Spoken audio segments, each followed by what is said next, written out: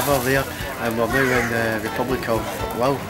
Um, it's a place called the Golden Triangle, so known because of the opium trade and swapping for gold in the 19th century, early 20th century. As I say, we're now in, the, the, in Laos and we've just bought some uh, whiskey, you can't see it, with a cobra in it and a scorpion for three quid.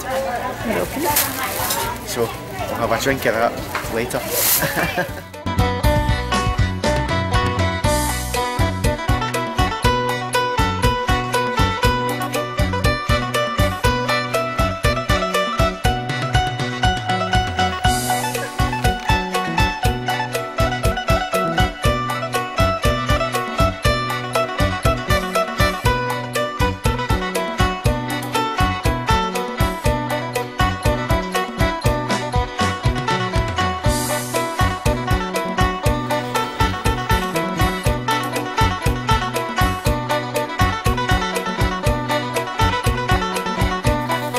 are, the Golden Triangle. Um, you've probably heard it. I think there's been, I think James Bond was here one time.